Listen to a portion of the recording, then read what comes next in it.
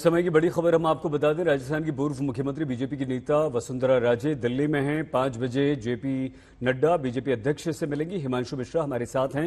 हिमांशु, क्या वसुंधरा ये बताने आई हैं कि मैं मुख्यमंत्री पद की प्रबल दावेदार हूँ और आप मुझे मुख्यमंत्री बनाइए या कुछ और बात? देखिए, मुझे लगता है कि वसुंधरा राजे अपनी बात को रखने आई है केंद्रीय नेतृत्व के सामने। और जिस तरीके से कल हाईकमांड की तरफ़ से उनको फ़ोन किया गया था और उनसे पूछा गया था कि जो विधायक आपसे मिलने आ रहे हैं उसका क्या कारण है? तो उन्होंने ये कहा था कि जो नए विधायक चुन के आए हैं वो उनसे मुलाकात करने आ रहे हैं और मुलाकात करने वालों को मना नहीं किया किया जा सकता मेरी तरफ़ से। और दूसरी तरफ़ उन्होंने ये भी कहा था कि वो अनुशासित कार्यकर्ता है पार्टी की लाइन को जानती है पार्टी की लाइन से कभी बाहर नहीं गई है सही।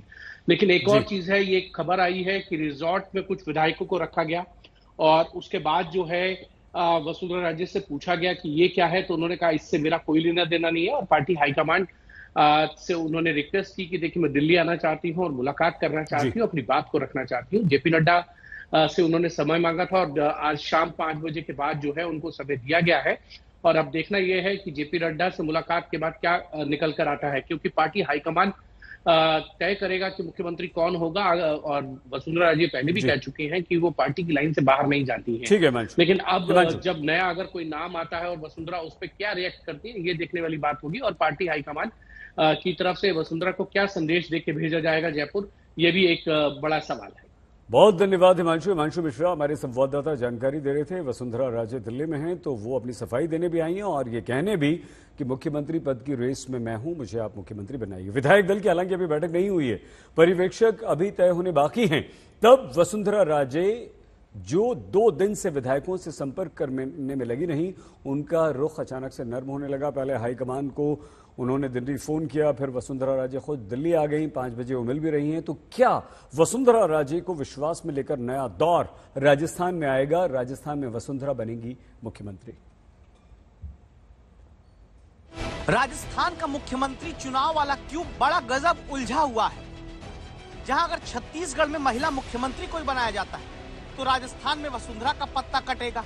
अगर एमपी में शिवराज नहीं और सिंधिया बनते तो वसुंधरा का राजस्थान में नाम हटेगा, क्योंकि सिंधिया घर आने से दो दो सीएम थोड़ी ना बनेंगे। अब अगर मध्य प्रदेश में ओबीसी की जगह ओबीसी चेहरा नहीं बदला तो राजस्थान में ओबीसी चेहरा लाना होगा, जिसमें अश्विनी वैष्णव और बाबा बालकनाथ आगे हो सकते हैं। राजस्थान में अगर पुराने नेता को चुनना हुआ तो अर्जुन राम मेघवाल किरोड़ी लाल मीणा आ सकते हैं। यूपी में जैसे हार कर भी केशव प्रसाद और उत्तराखंड में जैसे हारने के बाद पुष्कर धामी बड़े पद पर लाए गए। और ये फॉर्मूला चला तो राजस्थान में राजेंद्र राठौड़ और सतीश पुनिया भी खारिज नहीं किए गए हैं। मेहनत के आधार पर फल दिया गया तो गजेंद्र सिंह शेखावत का नाम हो सकता है। इन सब के बीच सबसे बड़ी चर्चा यही है कि दो बार मुख्यमंत्री रही वसुंधरा राजे का मुख्यमंत्री बनना क्या कठिन हो चुका है? इस सवाल का जवाब तो हम नहीं कहेंगे, लेकिन इशारा समझने के लिए मिलिए नाम है बहादुर सिंह कोहली वसुंधरा समर्थक विधायक है जिनकी बोली वसुंधरा को सीएम बनाने की मांग को लेकर 24 घंटे में बदल गई। जो जनता की मांग है वो वसुंधरा जी है वसुंधरा जी को सीएम बनाना चाहिए। अब आपने कहा था वसुंधरा जी को मुख्यमंत्री बनाने का आप उस मांग पर कायम है। No comment. तो ऐसा क्या हो गया? नहीं कुछ नहीं हो गया। कल आपने कहा था। कहा तो कहा ही इसमें क्या है? कोई झूठ थोड़ी बोला है?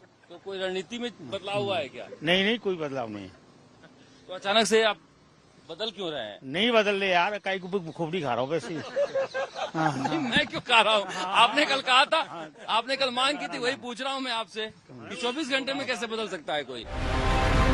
जो वसुंधरा राजे नतीजों के बाद अगले दिन से दावा रहा कि विधायकों से खुद ही संपर्क में जुटी रही। उनके नाम तक पर नो कमेंट उन्हीं के समर्थक विधायक करने लगे।